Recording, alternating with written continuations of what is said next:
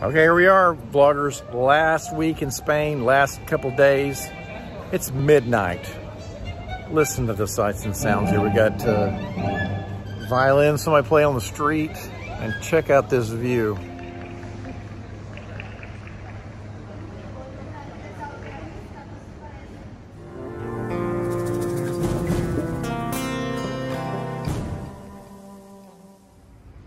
Here's a little bit of history for you. This is a statue of Cervantes, okay? One of the most famous authors in the history of the world, maybe, right?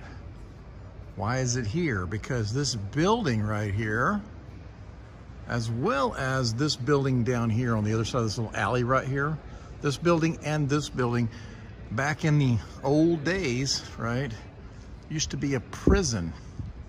As a matter of fact, Cervantes wrote Don Quixote while he was incarcerated at this building right here, at this prison.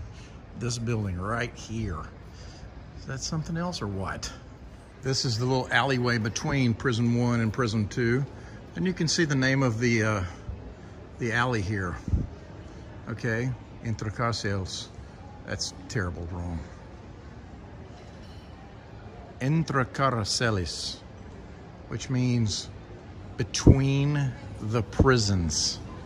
Okay, so prison one, prison two alley, that was the entrance to uh, the prison where uh, Cervantes was uh, incarcerated. Okay, summer's over and I am headed back to Texas. I know it's all over with. Check this out, I'm at the Marriott um, Auditorium in Madrid. Look at this sculpture. It's called The Crash.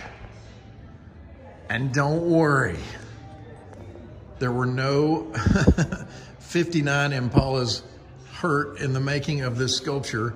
It's all fiberglass. Kind of cool though, isn't it?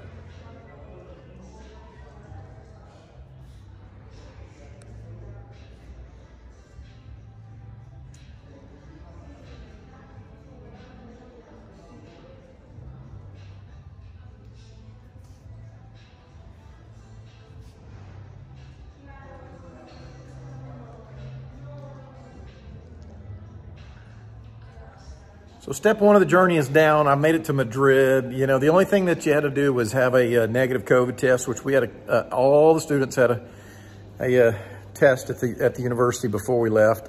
We had one student that went positive and we were like, oh no.